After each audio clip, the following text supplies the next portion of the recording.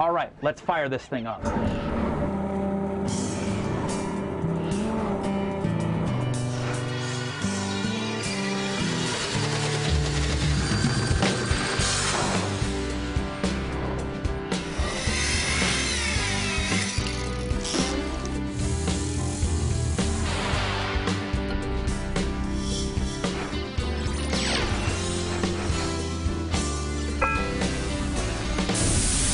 Bert, it is a gorgeous day to be out on the waterway.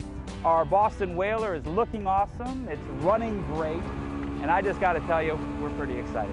Well, good deal, you made it. Hi, I'm John Greviskis. It's great to have you back aboard the boat. We have my head mechanic, Bert Dell, on board with us, and real quick, let me introduce this craft to you. This is our model year 2003 19-foot Boston Whaler Nantucket, and it is a fantastic little center console style boat.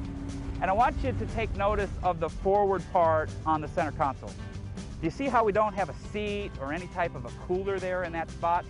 Well, that's because back when I purchased the boat in 2003, I opted not to get this factory offered equipment.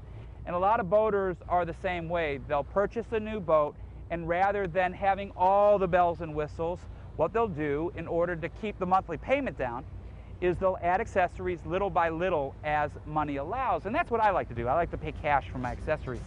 And today on Shipshape TV, what we're going to be doing is we're going to be putting in a forward seat along with a backrest. I also want to take a look at one of these starboard tackle centers. These things are absolutely going to enhance our fishing. And the real treat here is we're going to be heading up to Edgewater, Florida, where Boston Whaler makes this boat. And we're going to show you firsthand how the Nantucket gets crafted. But guess what? Before we can get into any of this stuff, shoot, you know the drill by now. You see, we need to work out a little trade-off. We've got to get all of you to spend the next 30 minutes with us right here on the beautiful water's edge.